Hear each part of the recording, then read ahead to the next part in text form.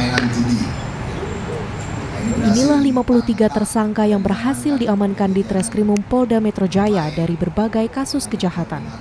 Dalam dua minggu, di Treskrimum Polda Metro Jaya berhasil mengungkap kasus judi, pencurian dengan kekerasan, pencurian kendaraan bermotor, kejahatan menggunakan senjata api, kasus penadah motor dan pencurian yang dilakukan asisten rumah tangga. Informasi ini disampaikan Wakapolda Metro Jaya Brigjen Pol Suyudi Aryo Seto dalam konferensi pers Kamis 15 Juni 2023. Yang pertama adalah kasus perjudian di Dwi Warna Jakarta Pusat yang mungkin selama ini cukup dikenal menjadi basis tempat permainan judi.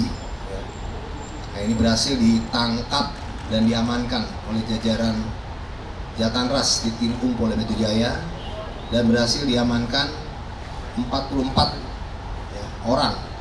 Ya tentunya ini ada penyelenggara, kemudian juga ada pemain, ada koordinator dari beberapa permainan baik Tasyu maupun Pacquiao.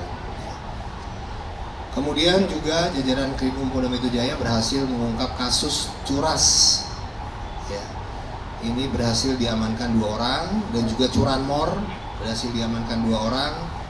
Kemudian ada satu kasus senjata api dan satu kasus pencurian ya dengan modus ART sebagai ART, kemudian melakukan pencurian.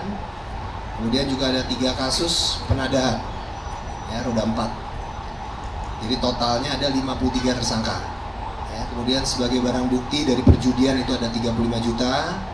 Kemudian juga alat-alat perjudian baik Pacquiao maupun Tasyau. Kemudian juga diamankan barang bukti curanmor 4 roda 2 dan 4 roda 4 ya dari hasil penadahan. Dan juga satu senjata api. Pengungkapan kasus ini merupakan respons Polda Metro Jaya terhadap keresahan masyarakat. Tim Humas Polda Metro Jaya melaporkan untuk Polri TV.